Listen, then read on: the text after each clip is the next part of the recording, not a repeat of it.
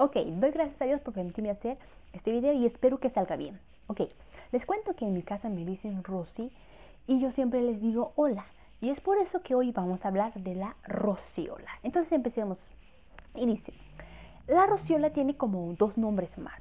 Se llama también como la sexta enfermedad o también su otro nombre es el exantema súbito.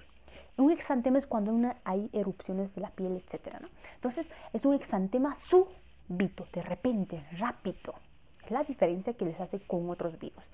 Bien, esto, esta infección de la rociola se debe a una infección por el virus herpes humano número 6. Virus herpes humano 6, que tenía el otro nombre que se llamaba linfótropos y hacía los lindos, ¿no? Ok.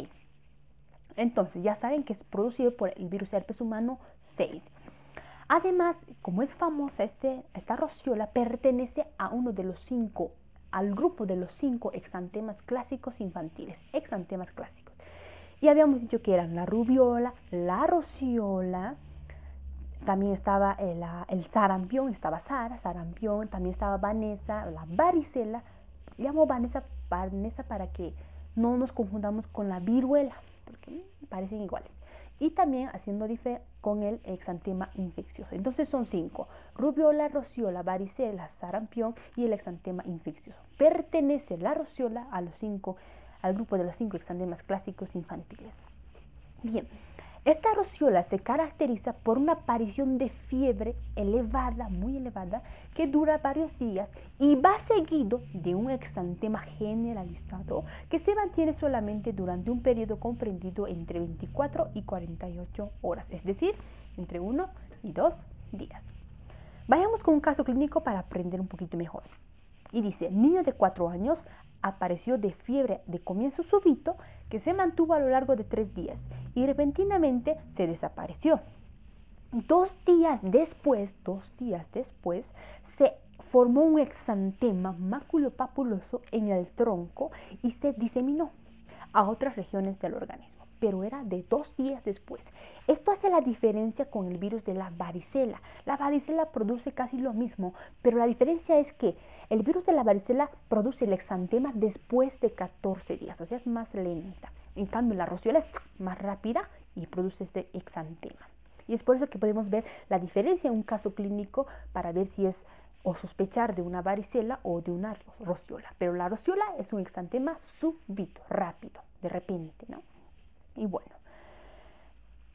vayamos a una pregunta de un examen pasado y dice, el exantema súbito es producido por bueno, exantema súbito es igual a rociola. Habíamos dicho que es su otro nombre, ¿no? Exantema súbito.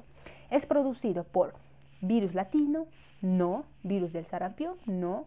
Virus herpes humano 6, ¿verdad? ese sí es el correcto. Y luego añade también virus de la rubiola, no. Y el parvovirus, no. Entonces la respuesta es C. El virus herpes humano 6 es, produce la rociola.